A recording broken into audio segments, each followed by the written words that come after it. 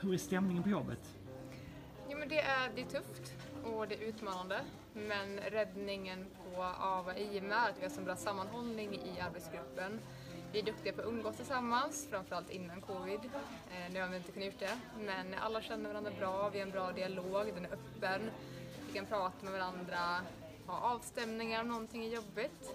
Så det, det är bra. Vad skulle vara din hälsning till stockholmarna? Eh, nej men det är väl det här att man ska ta sitt egna ansvar, eh, hålla avstånd till varandra, tvätta händerna, stanna hemma om du har symptom. Tänka på oss som jobbar inom vården, att vi har det väldigt jobbigt just nu. Eh, vi kämpar för er och skulle uppskatta om ni kunde ta ert ansvar hemifrån.